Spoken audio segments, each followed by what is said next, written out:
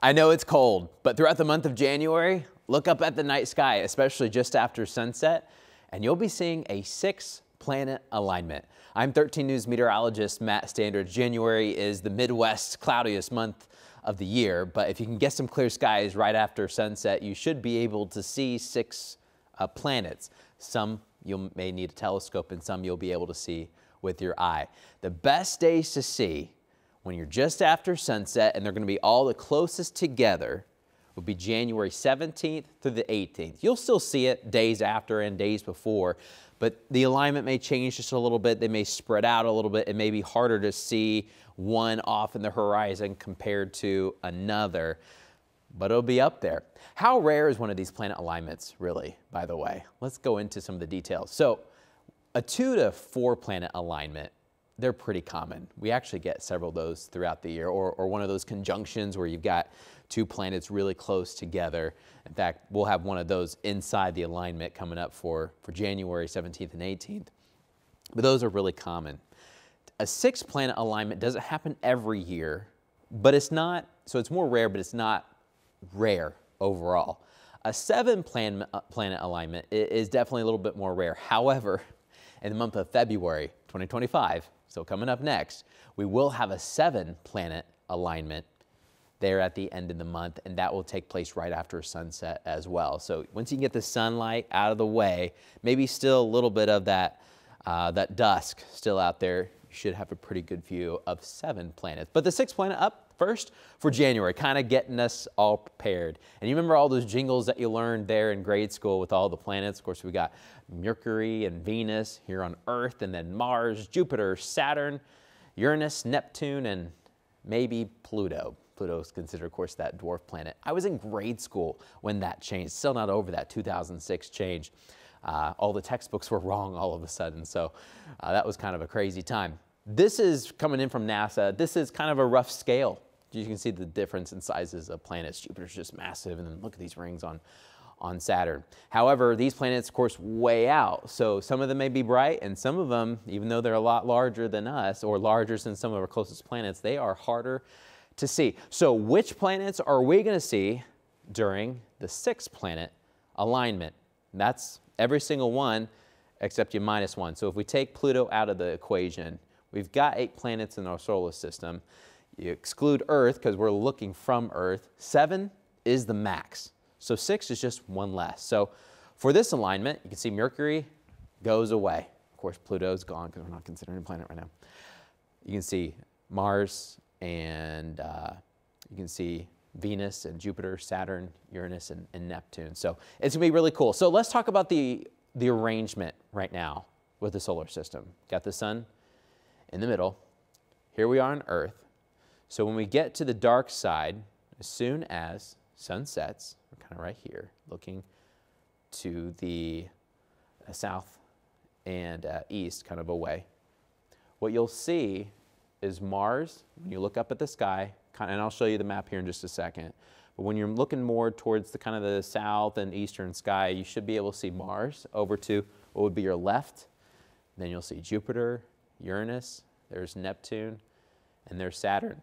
There's Venus way on the right as well. That one kind of gets close to, to Saturn in our angle. But everything's kind of on the same side except for Mercury. That changes in February. Everything should be in our field of view for that nighttime sky. And so that gives us the seven planets for February. But for January, Mercury's hiding on the other side of the sun. So we can't see it. Now during the day, maybe if you had a power enough uh, a telescope or something, maybe you could see it. But the sun is definitely blocking Mercury for now, but that'll change. So we're looking at the night sky. We're looking towards these planets. What will it look like? We made this visual representation. I'll step to the side for just a moment.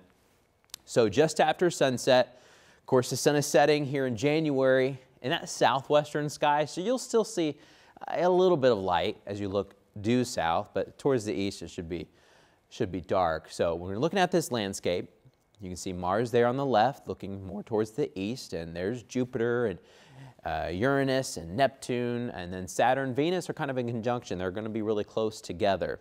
Now, when we say alignment, depending on what latitude you are on Earth, you kind of have a different display because we're tilted, right? So this is kind of more for a northern hemisphere look at what it would probably look like from our eyes, maybe a latitude like Indianapolis, Chicago, Louisville. So, so there towards the Midwest and all the way to New York City, kind of that latitude is roughly what this may look like. You'll be able to see Mars. You'll be able to see Jupiter. The ones that we have a circle around, you probably won't be able to see with your eye. You're going to need a telescope for that, and I'll show you kind of on some magnitudes here. But we have that circled, but it would be about here. So it'd be just to the kind of right and up from Jupiter, just from our perspective. Neptune would also be one of those, even though it's a giant planet, it's just so far away that it's, you can't see it with uh, your unaided eye. But you should be able to see Venus really well, and Saturn's closer to the edge there, but you may be still able to see. You got to squint maybe. If you need your glasses, get them out. But those two will be really close together. If you can find Venus, you can find Mars. Those would be the two easiest. Jupiter should be next. Saturn a little bit tougher. So four of them will definitely be visible. But this black line, kind of this curve, is called an ecliptic. So from our perspective in the northern hemisphere, it'll look more like an arc because you're kind of looking off to the plane of where all the, the planets lie as they're going in orbit around the sun. So it will look a little bit more like an arc, which is still, we would call this an alignment. Now, like we talked about, this happens. You know, it might not happen every year, but it does happen uh, fairly often. It's not rare. But to get them all really close together, that's pretty rare. So this view, you know, it looks like it's not very wide, but this is south and this all the way to the east, and we have a little extra room on both sides. So if you were actually standing out there, it'd be a pretty wide view that you're kind of looking. They're not going to be all together, but sometimes they are really close together. Now that is rare. When it comes to ancient civilizations too, when they would look up and, and see alignments, you know, it could be a prophecy or an omen, maybe bad or, or maybe good, or maybe it's tied to a natural disaster. If they see an alignment and then something bad happened, a lot of times maybe the alignment would be blamed or, or uh, they had to report why is this happening uh, to the ruler and they could maybe say the alignment was, was affecting things too.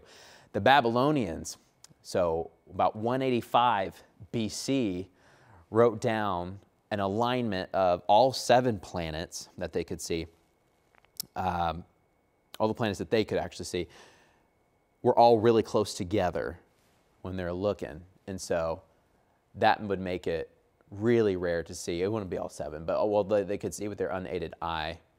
All together would be really, really tough. Uh, that would be rare. But this one, not so rare. So when it comes to how bright or, or dim something is, we use a magnitude. And for every magnitude, you know, one change in magnitude, it could be 2.5 times brighter or, or dimmer. So when we're looking at things, you know, this is the Hubble uh, telescope. It can see things, you know, 25 or, or a little bit greater in terms of that magnitude. That's really, really dim. For our unaided eye, six is kind of that magic number. Now, for some folks, it may be more like four or five for uh, you need to be a little bit brighter for you to see it. But six with the unaided eye would be the max that the human eye could see. The North Star, somewhere in there, two to three for magnitude. A lot of these planets are anywhere from about six, five or six, to about negative four. So we're kind of in this range that we can see it. The moon itself is at you know negative 12 or so for its magnitude for a full moon. And then we're beyond a negative 25 for the sun itself. That's, of course, really bright. So hopefully this kind of puts it in perspective. These planets that we can see, the four that we can actually see are kind of in here. And then you've got uh, there towards Neptune and Uranus just Uranus just after five, six, seven, and eight. So that makes it a little bit tougher. That's where you're going to need a telescope. So what would it actually look like, roughly? Visualization. You got Mars, you got Jupiter, you got Saturn, and you got Venus. So something that we'll be looking forward to in the month of January. But you're thinking, Matt, this is only six. I want a seven. Just wait. February 2025. They're at the end of the month. I believe it's right, right at the end there, February uh, 28th is kind of the max of what we're thinking. I believe that's NASA's kind of pinpoint for the seven planet alignment. Now, it's usually not just one night, you got some buffer on each side. But to get them all the closest together for us for January would be January 17th and 18th, and then I believe February 28th for that seven planet alignment. Make sure you look up at the sky. I know it's cold. It's the coldest time of the year. It's also the cloudiest time of the year. But if you can get the clouds to clear out, you might have a pretty good view of the planetary alignment. We'll see you next time.